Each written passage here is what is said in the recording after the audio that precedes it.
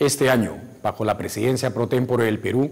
celebramos los 50 años de existencia de la comunidad andina y de su tratado constitutivo, el Acuerdo de Cartagena, el cual fue suscrito bajo un espíritu integracionista que hoy compartimos a plenitud los países de la región andina.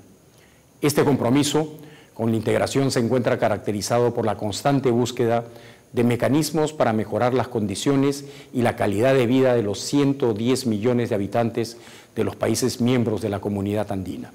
Por ello,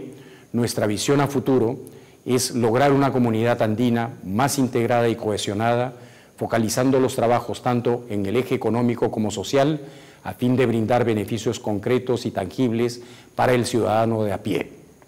El 26 de mayo, Lima será la sede de la 19 edición del Consejo Presidencial Andino y de la 45 reunión del Consejo Andino de Ministros de Relaciones Exteriores, oportunidad en la que se dará un renovado impulso político al proceso de integración. Aprovecho la ocasión para dar una cálida bienvenida a las autoridades de los países andinos y de los organismos del Sistema Andino de Integración que participarán en las reuniones mencionadas con el claro objetivo de seguir trabajando en beneficio del desarrollo económico y social de nuestros pueblos.